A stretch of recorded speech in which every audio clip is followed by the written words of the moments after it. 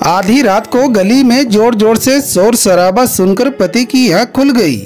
उसने घर के बाहर निकलकर लोगों से पूछा, हुआ क्या है?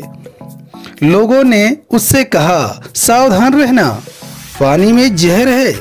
यह सुनकर पति फटाफट घर वापस आया। पत्नी ने पूछा, इतना शोर शराबा इतनी आवाज़ गली में किस बात की है? हुआ क्या है? पति, कुछ नहीं हुआ। फालतू लोग हैं।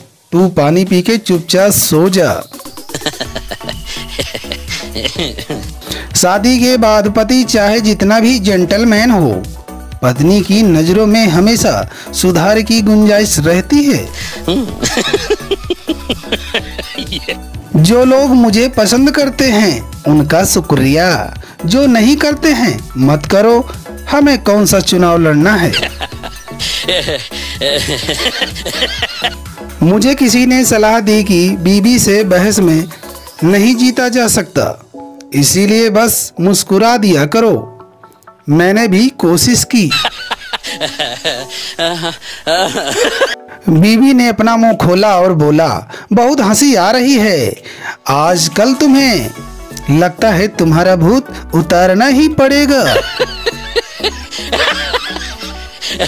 घोर कलयुग। रे बाबा घोर कलयुग। दो महिलाएँ आपस में बात कर रही थी। रोज रोज गाय और कुत्ते को ढूँढने कहाँ जाएँ? इसीलिए पहली रोटी खा लेती हूँ और दूसरी रोटी उसके टिफ़िन में रख देती हूँ।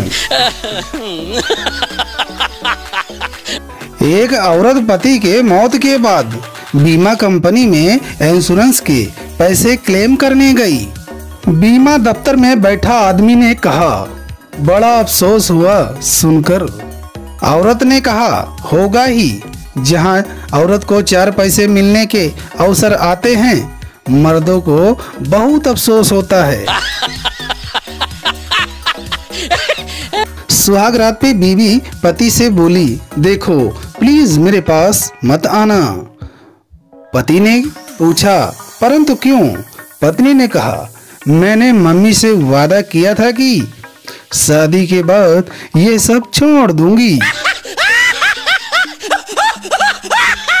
प्यारे दोस्तों कमेंट करके ज़रूर बताएँ, आपको लॉन्ग वीडियो पसंद है या फिर शॉर्ट्स